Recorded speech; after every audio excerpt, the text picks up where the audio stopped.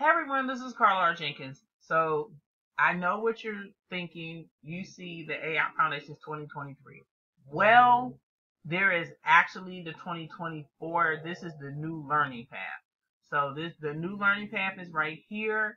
I'm gonna put a link to it. Um, the reason why I wanted to let you know because normally for the Oracle Cloud, all of the the new or 2024 uh, exams come out by the end of July, and this is August 1st. So I'm gonna point to where the new one is, and you'll go directly to it. And so as you can see, it's coming up, but there's a new exam, as you can see right here. So I'll put the link in the description. It is available. This is the free certification, and it has all of the generative AI. It is also now 40 questions, and you got to get 26 correct.